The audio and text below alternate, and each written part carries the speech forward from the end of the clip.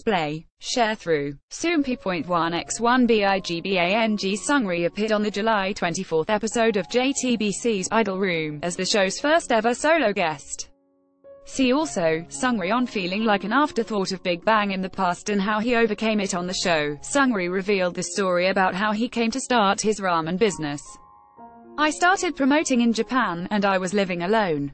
But then suddenly, the exchange rate rose like crazy, and the cost of living became too much. So, YG asked me to come back to Korea. Holding back tears, I went to the ramen shop right by where I was living.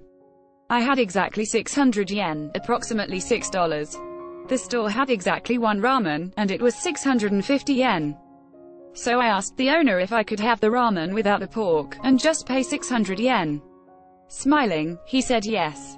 And as I was eating my ramen, thinking about going home, he quietly just gave me two pieces of marinated pork. That's when I decided that I was going to bring this food and the emotions it stirred to Korea, Soompi. Display, News, English oh oh x 250 BTF Soompi. Mobile. English oh x 250 ATF He said he's now looking for someone to take over. I started the business because I wanted to share the emotions I felt, but it's gotten so big that it's a lot of pressure now, and the original meaning behind it isn't quite there anymore. The Big Bang member also revealed the story behind how he became the CEO of YGX. Many people think that Yang Hyun-suk gave me the position, but I was having trouble with the business, fostering Jays, and I couldn't do it alone. I asked Yang Hyun-suk for help, and he took us in. I feel like he put a lot of faith in me, so I'm happy. On his new comeback dances, Seungri said, When I see groups like BTS and 101, the dancers go so hard, and I thought, there's no way I can top that.